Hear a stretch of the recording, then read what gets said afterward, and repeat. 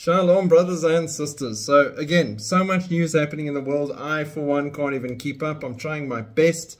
Uh, if you check the community wall on a daily basis, I'm posting all the storms, natural disasters, and chaos happening with the world so that you can keep track of them there. And then from there, you can Google them further and get into those stories in detail to see the earth and creation literally groaning at this stage of the game. So, so late is the hour. So that's where we put all of that. And then all the other news, we have to try and filter and figure out what to share because there is so much happening because the clock on end times is literally spinning. And Israel being the center of that, there's so much happening in Israel at the moment that it is crazy. And it all points to Jesus is coming soon. Now, this story that I want to share with you today, again, just shows you all the connections of evil coming together so in your face right now. They've got a AI security robot that they're unveiling as pioneering a new era of protection. The security robot that's always on duty. Its eyes never close, a focus that never wavers. It has multiple cameras all over, and they've called it Athena.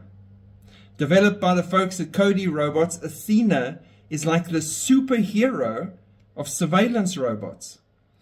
Athena is equipped with four 18 times zoom cameras providing extensive surveillance capabilities. It's got thermal imaging technology, detects temperatures ranging from 50 all the way to 1022 degrees Fahrenheit, wide angle.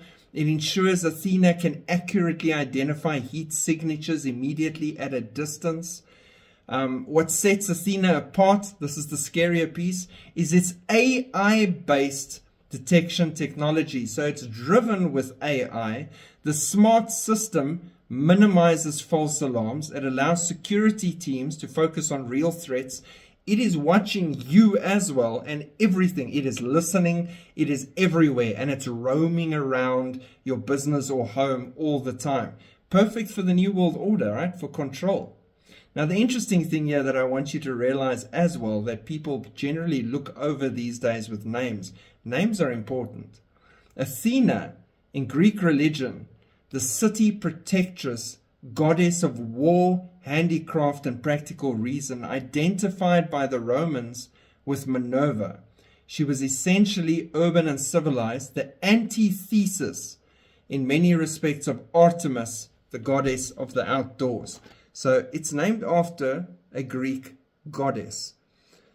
The qualities that lead to victory, they say, if you go look up this goddess, are found on the aegis or the breastplate that Athena wears when she goes to war.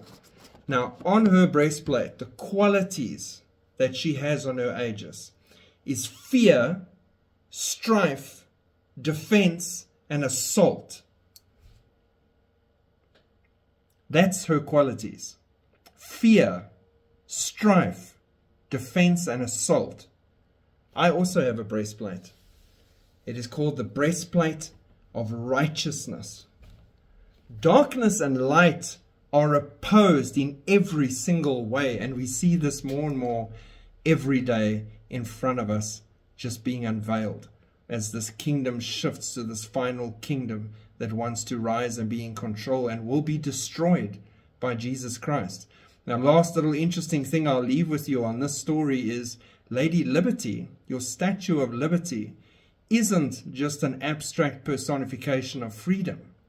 Early American art makes it clear that she is the Greek Athena or the Roman Minerva. So is it really any surprise that they would call this AI robot that they developed that is going to be rolled out everywhere Athena. Since they've had Athena watching over everyone there for a while.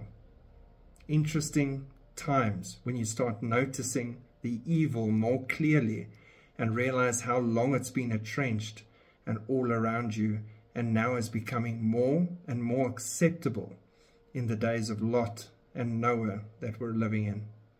But the exciting thing is, Harpazo, the rapture, is at the door. At any moment, in the twinkling of an eye, you'll hear the sound of the shofar and we will be flying. keep running your race. Keep being faithful. Keep seeking to be righteous in the eyes of God. Keep diving deep into the Word of God. Keep working on that relationship with the Holy Spirit and keep following Jesus, the water walker. Shalom.